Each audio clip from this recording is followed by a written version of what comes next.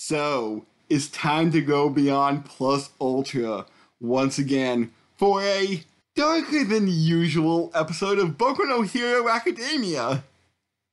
You can't control the way I die. I choose the way I die. Yeah, I had no idea Ending was this troubled of a character. I was just reading about his quirk, and I'm like, oh my god, that quirk is so weird. You know, it was weird because, yeah, they mentioned it at one point when they were arresting him. And I'm just sitting there like, because I thought it was all paint at first, but no, it's literally just white paint lines. Would the yellow lines on the road be affected? I assume not, because he wasn't able to pick them up right away. If he would paint the lines himself, could he manipulate that paint? See, the question becomes can he just manipulate all white paint? Does it have to be dried white paint, or does it specifically have to be dried in a line? I, well, according to the Boku no Hero wiki, road markings. It has to be. He can't just paint it on his arm and use that. Let me go to the Boku no Hero wiki so I can read what it says here. His quirk is White Line. White Line allows Ending to control any lane lines painted on the road. See, I wonder if that's just what is shown or what is officially listed by uh, the the punk uh, the the creator. Hmm. Like that's where I'm at. Like, is that only because that is what is shown, or is that outright Horikoshi, the the author's actual definition for this quirk? I am not sure if he would be able to use it on all white paint. I'm not saying just white paint, even if it was just white lines, like the quirk name implies. Hmm. Because I mean, like, and even then, he had to use a booster to get the effect he was getting here. I'm curious what, how effective he is without the booster. It would be hilarious to say, White Line, I challenge you to a fight in that field five miles away from the road. You just pull a Dragon Ball and you fly off into a desolate canyon. That's where we're fighting. But there's no white lines. How am I supposed to fight? Ow. But I'm useless out here. That'd be That'd be hilarious. Vegeta smashes into the ground. He can't use his powers because there's no white lines around. Damn it, Kakarot! I can't fight like this. I need to be in a city. Ah. It'd be like Nappa having the fist of the nose hair, but having shaved his nose hair. Nappa? You mean Bobobo?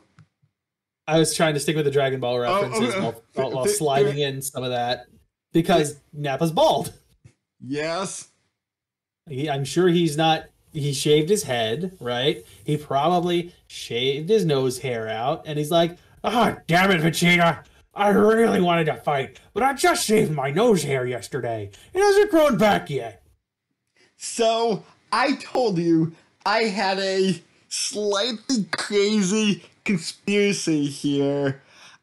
Uh-huh, uh-huh. I'm half thinking, and this is only like 10% real, maybe like 90% joking here, that Bakugo kind of has the hots for Shoto's sister by saying like, hey, uh, why don't you give me that recipe?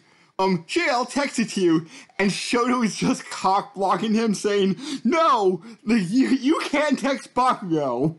I don't think that's what was said. I'm pretty sure that's not what was said. The recipe for the Mapo tofu. No, that part you got. It's but like, I don't think. I think Todoroki just said, I'll text it to you.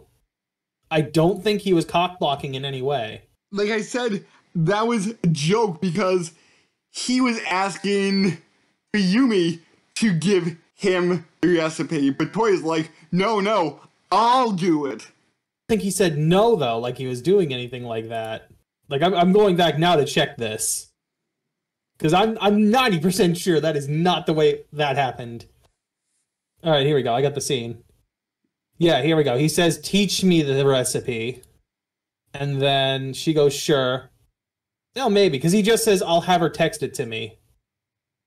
But I mean, that's also kind of more convenient because who knows when they're gonna see each other again? For one, and for two, the other thought, it, like in my head, is just like Todoroki, based on that one, that one point that we saw when uh Mount Lady was trying to like uh, uh interview him. I was gonna say interrogate. I knew that was the wrong word, but tried to interview him, right?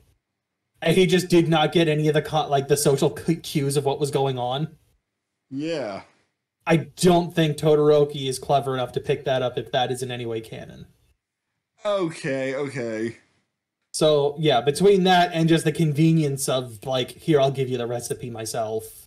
It's just easier this way because again, who knows when he and Fuyumi are going to see each other? But like I said, I'm like ninety percent keen about that. I mean, fair. I'm just trying to figure out if there was any like legitimate thing to that, and it just doesn't seem like it to me. And he was still angry, saying that like that was delicious. Give me the recipe.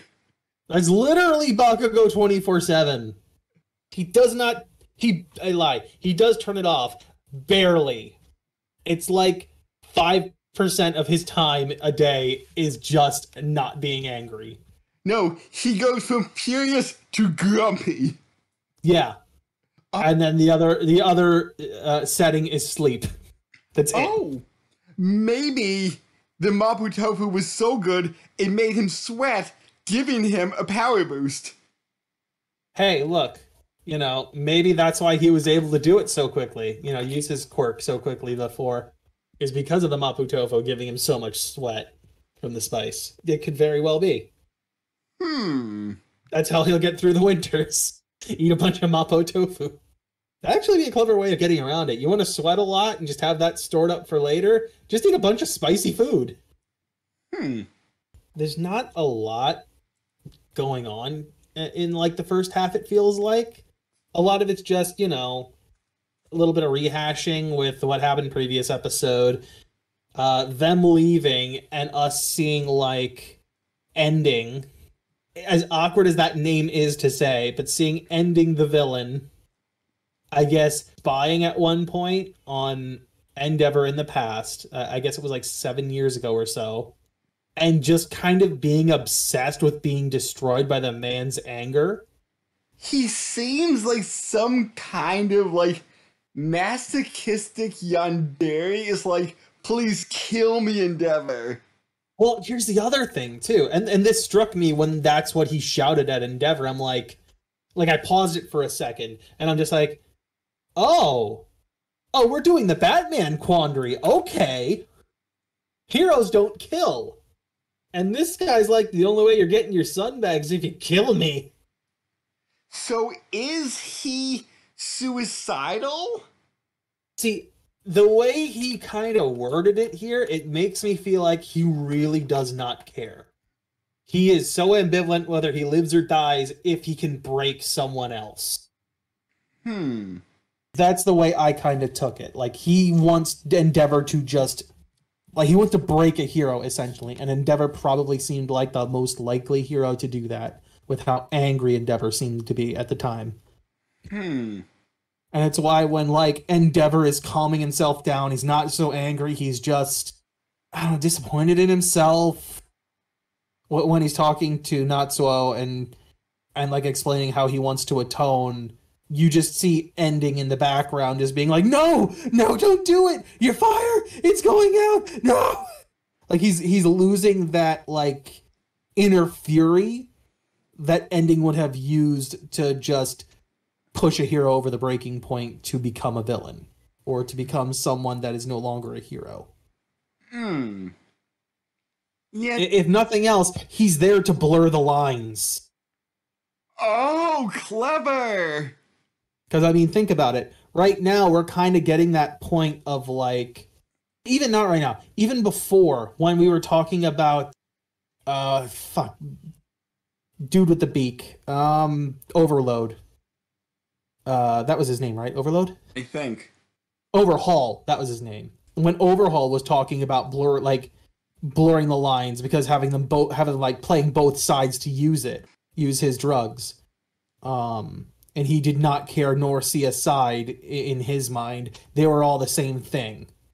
And essentially creating that war between heroes and villains and just having them constantly having to use boosters to one overtake the other. Right? Mhm. This is kind of doing it on a far more like I guess social scale of blurring the lines of forcing a hero to murder someone in order to save another, Mhm. like giving them that binary choice. It like it immediately struck me as a Batman thing, especially from like the uh it was Nolan, right? Nolan that did like the Dark Knight Returns and stuff Yeah. like that one. Yeah, it reminded me of that point in the Joker, uh, where the Joker was there and they were having to like decide which um which boat to save essentially at that point. Um the same idea of like you need to break your code, your moral codes. And then by doing that, especially if it's the number one in this case, what is that going to leave the world with? I just felt like since he was calling himself a Nomu, which isn't really human, he doesn't think of himself as anything. So I'm just like, oh, This guy's suicidal. Well, it's it's that maybe, but also maybe his way of rationalizing to try and make Endeavor murder him again, like just another way to try and mentally manipulate him into killing him. Maybe. Because the Nomu didn't look human, right? No one, no one's gonna tell Endeavor that he didn't just kill a monster. Like that thing was no longer like was not human, nor, as far as anyone was aware, could have ever been human, right? Right. in this case, a person that looks human, or at least you know as close to a human with a quirk might look, uh, if people outright saw Endeavor do that, or hell, even Endeavor himself doing that, it would both mentally and socially shatter a hero or the idea of heroes. Especially now with Endeavor being in such like a weird mental place with his development. Like in him trying to figure out a way to, to like fix things. And even then i don't know if he's made the right decision by the end of this this episode. Like the the the post credits point of this is him literally like building their his family a new place to live that will be peaceful and away from all the bad memories and then shutting himself off from them essentially even after it seems like Natsuo is at the same point where um where Shoto is, where like it seems like they're both getting ready to forgive him. But Yumi is more forgiving than her brothers, right? I believe Fuyumi is, and that's probably in part because she's a elementary school teacher. Like she sees what it means to have a loving family when she sees the like the kids get picked up or whatever. I would assume. Mm-hmm. my thought is that like they it, my thought is that she being the oldest one right now because who the fuck knows what happened to toya at this point besides not being around slash dead or the other red-haired kid that we saw in the flashback she's currently the oldest one that we're aware of that's alive she's probably the one who has, is mature enough to understand and even like be willing to try she's the one willing to extend the olive branch and try to help put things back together as as much as can be done. Hmm. Even if I would say in the end Endeavor was not ever going to be part of that that family picture that she wants. And hell, Endeavor even points out to Natsuo like during their little talk near the end there about like how look, you may not be trying to for me, but you're trying for your brother and your sister. You're trying to do this for them, even if you end up walking away. You're attempting it. If nothing else, you are a kind person just for that.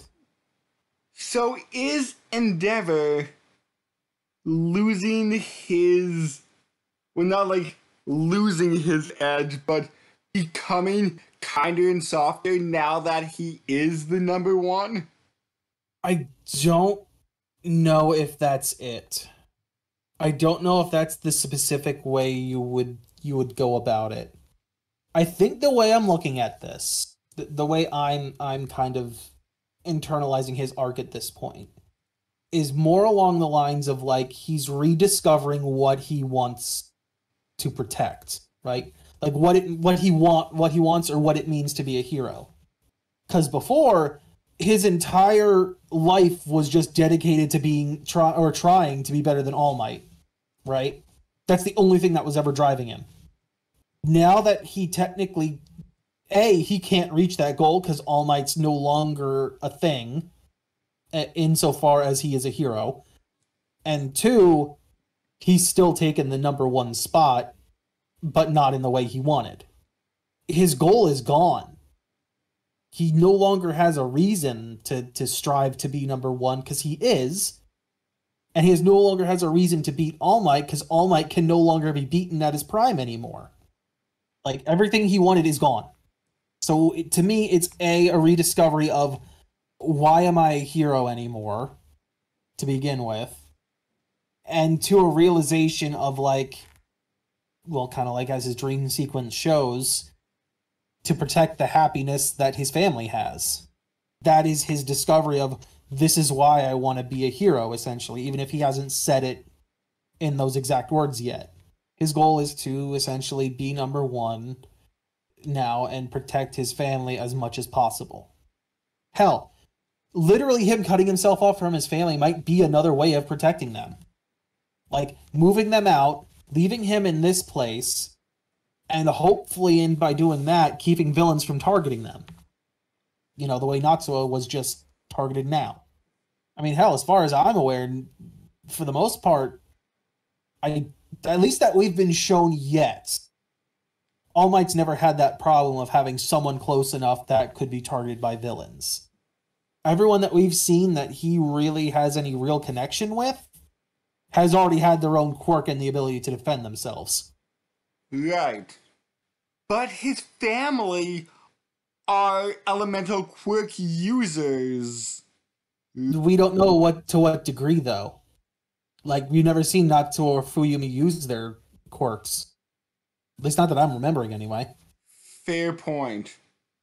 So we we don't know if it's, you know, we don't know if like all Natsuo's got for instance is just like a little flip lighter of a thumb like maybe Fuyumi can chill some things with her with her ice. Maybe who knows? Like it may not be something that's great or okay, strong. kids, who wants snow cones? Yay, snow cones! Yeah, there you go. Shaved ice. Here you go. Oh my god, that that'll be a great way to use your weak quirk. Become like a, a food vendor or something. hey, look, man quirks can be quite useful. You can use them to do some cool things. And did we say that Deku's mother, with her, like, very, very slight magnetism quirk, could do something? It's less magnetism, more telekinesis. Um, she said she could pull small objects toward her. She didn't say spec- uh, specify magnets as, or like metal, as far as I'm aware. Uh, okay, I, I was just misremembering either that or couldn't put it into words because I forgot telekinesis. It's fine. I mean, I believe when she demonstrated it the one time, it was like with a pen.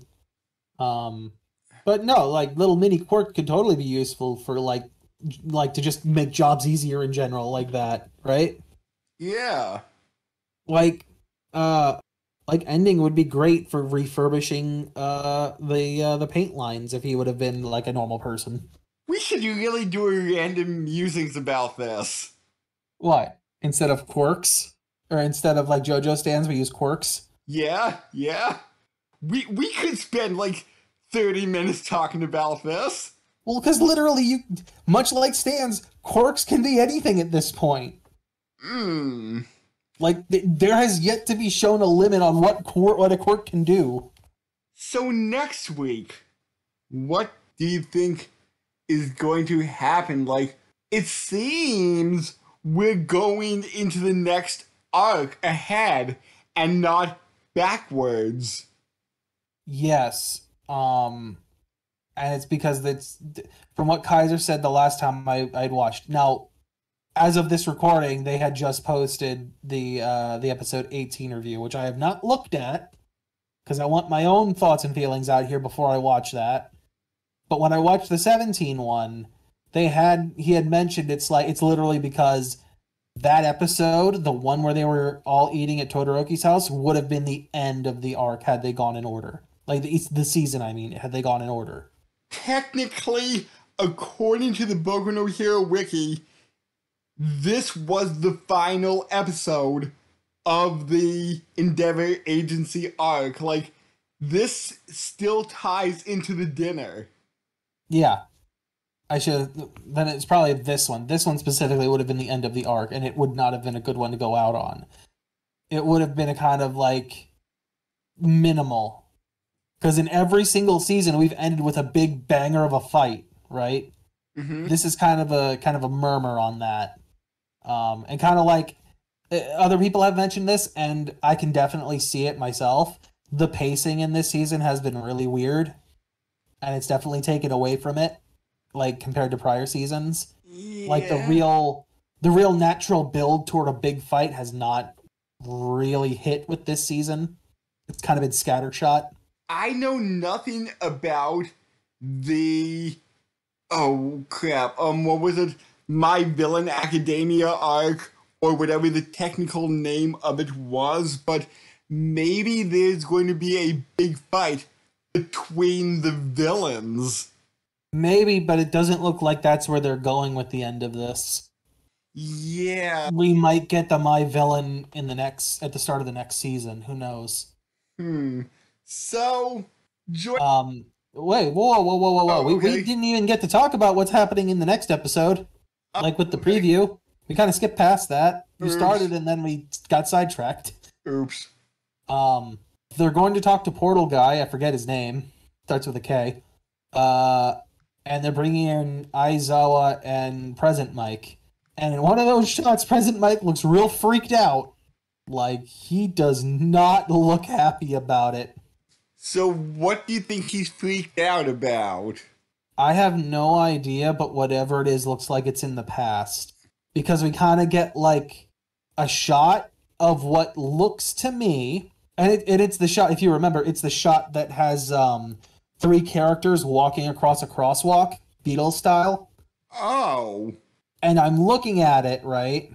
And my first thought was like, who the hell are these guys? Like, I had to freeze frame it for a second. Because it is at a distance, so it's hard to tell. And I'm like, well, they're AU students, or they're UA students, based on the uniform. And I was trying to put together who they were. We're gonna get some part of a flashback. Because I realized it's Aizawa, Present Mike, and Vlad. Oh. Young kid versions of them. And by the way, um, Portal Face guy is Korogiri. Yeah, Kurogiri, that's right, because he's it's black something. Fog. Black fog. Ah, is that what Giri means? Fog? um, according to the Boku no Hero wiki, Kurogiri literally black fog. Oh, there you go. I knew Kuro was black, but I didn't. I didn't know for sure what Giri meant. Same, same. Um, But yeah, whatever it is, whatever they get out of them must have been something from the past or something that happened in the past or wh- whatever the reason it triggers. They're getting a flashback. oh! Oh, oh! Okay, here's a thought. Maybe it will start with the next arc jump back to the My Villain arc, and the final few episodes will be the will be him telling the heroes what's been going on. Maybe, but I don't know what it would really do to reveal it to them. We, we also get a bit of a meetup back with the kids at the classroom, which is great. We get to we could probably get to hear a little bit about what each of them have done. We get uh yeah, Aizawa and Present Mike go to meet with Kurogiri. Oh shit. Uh what's his name? Super speed dude that trained Deku before. I'm blanking on his name. Um, Gran Torino? There you go. That's it. Yep, he's there too.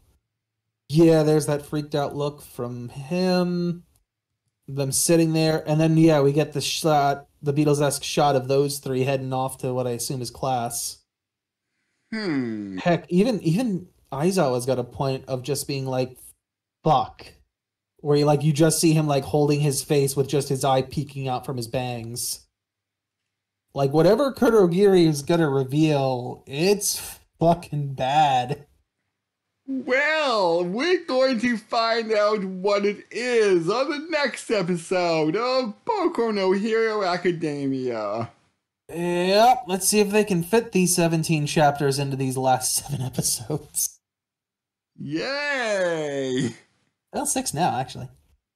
Really, I thought it was going to be 25.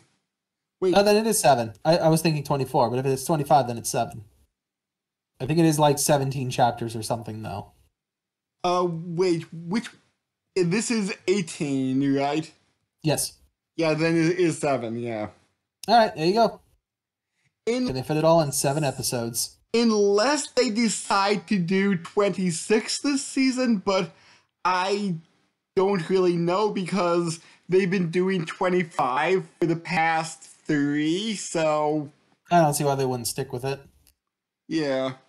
So until next week, I'll catch everybody later. I'll just off myself now. It's fine. I chose this method. Oh, there, there. Everything will be okay. It'll never be okay again.